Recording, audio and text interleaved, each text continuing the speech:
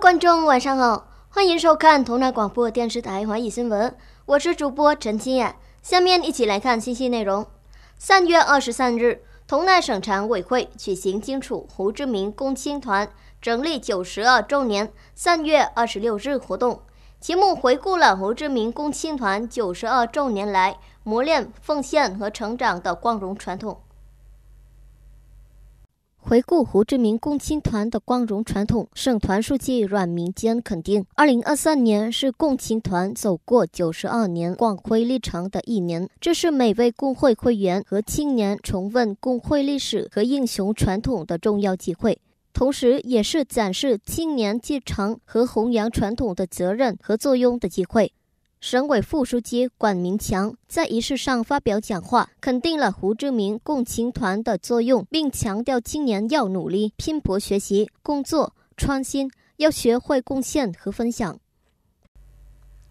三月二十三日，同南省委会副主席武文飞主持召开了省领导与该地区农民对话会议，省人民议会副主席黄氏碧恒女士也出席了会议。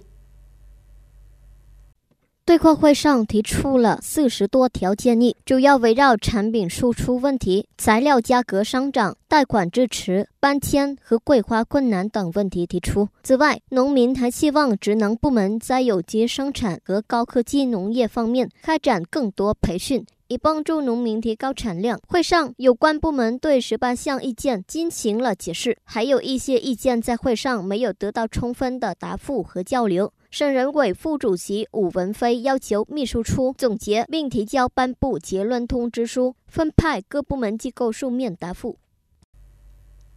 同南有三十二个工业园区，总面积超过一万两千公顷。目前，该省正在努力解决困难，让企业尽快租用约一千公顷的空地。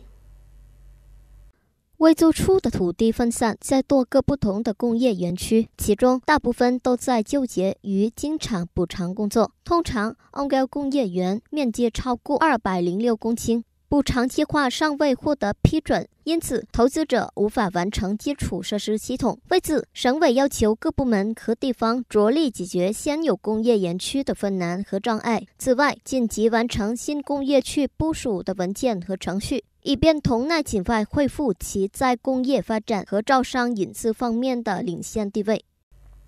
华盛顿否认北京声称中中国军方最近阻止一枚美国导弹驱逐舰在东海有争议的岛屿周围活动。